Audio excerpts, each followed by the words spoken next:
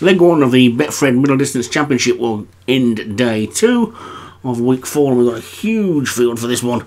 10 furlong, 0 to 100 on the dirt. Maybe it will want to be 0 to 90. At the top is Elemental for Padraig Hogan. One fourth, Craig Allen. Society Lansing, CDJ Liggett.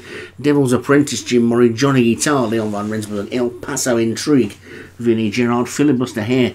Martin Lidham, Carnelian, Great David Robertson, Alpha Squad, Joshua Sutherland, Cotillion, Sailing, Thomas Rogers, Special Tonic, Craig Beck with Sidium, Martin Lidham, Edge Tiaz, Bailey, Craig Allen, Matter of Contention, Leon Van Rensburg, Watch Your 20 for Satyam, Bonica, Balfour, Thomas Rogers, Hardwood, and Sovereign for Overyorn, Chinese Society, CD Liggett, Grey Matter, Alex Cherry, Not Able for Satyam, and Marble Arch for Daniel French.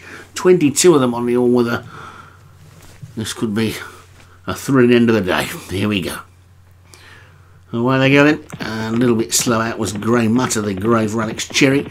Uh, some of these caught wide are going to be struggling a bit when we get to the turn, I would think, but there's quite a long way to that turn, so they've got a chance to get themselves into position. Just in case of how much energy they use up getting into that position, and we'll, we'll soon see because Marble Arch has come from just one of the widest draws and has got right across to the fence. So we'll see what that takes out of it at the end of the race. Sidium is back in the second, Devil's Apprentice is third, then Johnny Guitar, Alpha Sand is also close up, and maybe one or two of those who were drawn low might regret later letting some of those outside drawn horses get across quite so easily. But it's Marble Arch who's got the lead, got the rail, and is three lengths clear of Alpha Sound in second. Grey Matter who was slowly away as third. Then Sidium on the rail. Johnny Guitars there. So is Cornelian Great. Filibuster Hare is also well placed. Not able to special tonic. Then Hardwood looking towards the back.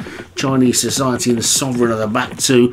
But they're coming down towards the five furlong point then now. And Marble Arch is well clear of Alpha Squad in second. And then Cornelian Great. Filibuster Hare and Watch Your 20 making a good ground there. Watch Your 20 moving up into challenge for the lead. Then it's Marble Arch being immediately caught up by Watch Your 20 past the four furlong pole. Then comes Hardwood, not able. Carnelian Great is after that one. Alpha Sound, Special Tonic, Filibuster Hare trying to get going. Grey Matter is still there as well, but it's Marble Arch who leads by about a neck to Watch Your 20 in second. Hardwood is third. Here comes Cotillion sailing. Filibuster Hare also trying to run on. Wide on the track is Matter of Contention. There's two furlongs still to go, and it's Watch Your 20 who's in the lead from Marble Arch in second. Then comes Cotillion sailing. Hardwoods after that. Wide on the track, Matter of Contention. Special Tonics trying to run but Watch Your 20 is still clear with a furlong to go. Watch Your 20 clear in the lead. From in second place, Carnelian Great, then Special Tonic. One falls and Devil's Apprentice. Hardwood trying to run on, but they're not going to do any of this. Watch Your 20 at the moment. Although fast finishing El Paso Intrigue didn't get there close enough, I don't think. It's close on the line. The angle's deceptive. But I think Watch Your 20's probably held on. The grey horse was finishing like an absolute rocket, but I don't think it got there. And Watch Your 20? There's got to be another one for Satya with a name like that. Sure, that's referring to 2020 cricket. Uh, let's see. It is indeed. Watch Your 20 for Satyam.